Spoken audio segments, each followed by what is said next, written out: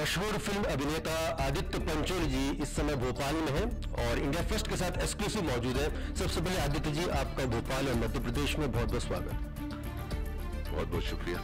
Thank you very much अब दिन भर आपकी काफ़ी गहमा गहमी रही। आपका एक स्टेटमेंट आता है कि मध्य प्रदेश की सड़कें वाकई में बहुत बेहतर हैं। इसके बारे में मैं कुछ बोल नहीं सकता हूँ।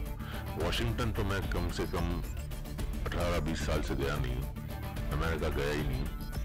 मगर एक बात ज़रूर बोल सकता हूँ कि कंपैरेटिवली जो सड़कें हैं यहाँ पर, मैंने काफ़ी ट्रैवल किया है।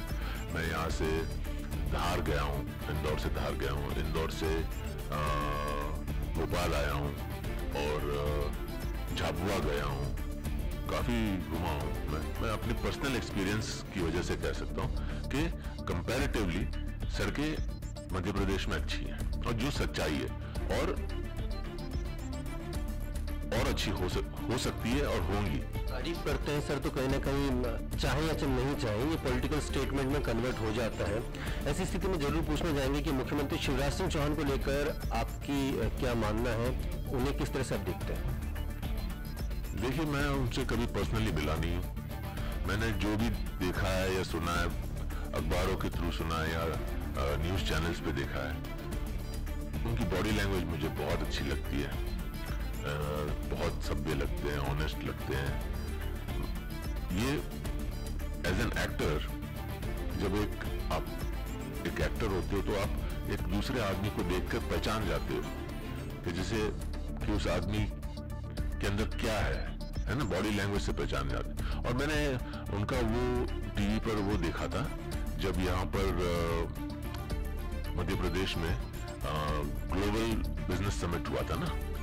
जहाँ पर सारे उद्योगपति वगैरह सब बहुत बहुत अच्छा बोला उन्होंने। एंड uh, मुझे मुझे अच्छे लगते हैं। बीजेपी को लेकर आपकी क्या राय है? मतलब as a party it's I am a fan of BJP मैं पहले भी बोल चुका हूँ। आज दोपहर को भी मुझे किसी ने पूछा। आई आई थिंक इस गवर्नमेंट को देखिए अभी आए तीन साल हुआ है। जैसा मैंने कहा एक बेडरूम बनाने के लिए छह महीने लगते हैं। देश बहुत बड़ा देश है। मैं देश के चप्पे चप्पे में घूम चुका हूँ। मुझे 33 इयर्स हो गए एज एन एक्टर तो बहुत बड़ा देश है, वक्त लगेगा और वक्त देना चाहिए। पहले भी बता चुके हैं, मोदी जी आपको काफ़ी पसंद है, बीजेपी आपको पसंद है, शिवराज जी भी आप कहीं ना कहीं आपकी गुड लिस्ट में है। तो क्या अब चुनाव प्रचार की आपकी कोई योजना है बीजेपी के लिए?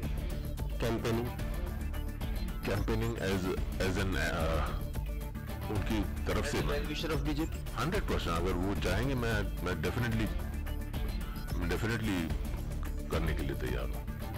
अगर वो अगर वो मुझे बोलते हैं मैं मैं राज़ी हूँ। कहा जाए कि चुनाव भी लड़ लीजिए। नहीं नहीं बिल्कुल बिल्कुल नहीं। मेरा नेचर ही नहीं है। मैं बिल्कुल नॉन डिप्लोमेटिक टाइप ऑफ़ आदमी हूँ। मैं पॉलिटिकल बिल्कुल नहीं हूँ। मेरे मुँह में जो आता है दिल में जो आता है मैं दिल से सोचता हूँ, दिमाग से बहुत कम सोचता हूँ तो मैं आई थिंक बिल्कुल नहीं।